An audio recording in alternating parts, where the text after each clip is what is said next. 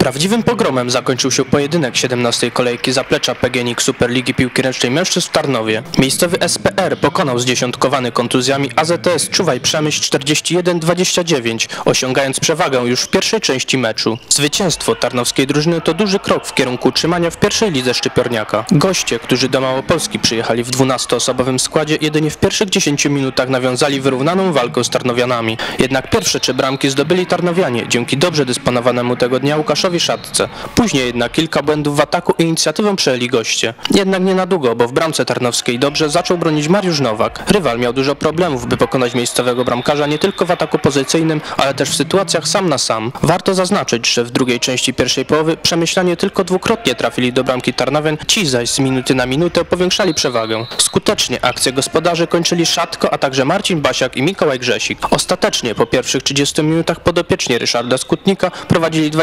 22-12. Po zmianie stron szybkie czy bramki Przemyślan bardzo zdenerwowały trenera miejscowych, który dla uspokojenia poczynań swoich zawodników wziął czas. Efekt był natychmiastowy, bo w bramce Grzegorza Barnasia zastąpił Nowak, a w ataku pierwsze skrzypce grał Daniel Dudka oraz Łukasz Szatko. Gdy po 45 minutach na tablicy widniał wynik 31-19, obie drużyny nadal próbowały zmienić wynik. Jednak Przemyślanie nie mogli sobie na wiele pozwolić, bo krótka ławka nie dawała im możliwości rozwinięcia skrzydeł. Ostatecznie SPR Tarnów wygrał z AZS Czuwaj Przemyśl 41-29. Po spotkaniu jeden z bohaterów, bramkarz Mariusz Nowak, cieszył się, że dzięki jego wsparciu wygrała drużyna. Dobry pojedynek całego zespołu. Ja to zawsze podkreślam, że wygrywamy.